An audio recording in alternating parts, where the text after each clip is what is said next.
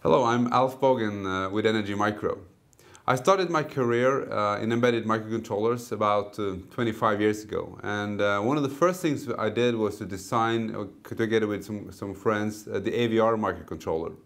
ARM started at about the same time uh, with embedded processors. They were licensing the core out to, to many vendors, so uh, people could actually choose a core and they can put it in an ASIC and they can keep their existing manufacturing flow. That meant that uh, more and more people could use it without having to buy from one specific supplier. Uh, one of them being Nokia in the cell phones. Uh, really big volume customers started to use the controller, and uh, that's the way it spread out. Now, 20 years later, the ARM microcontroller is almost dominant in embedded designs.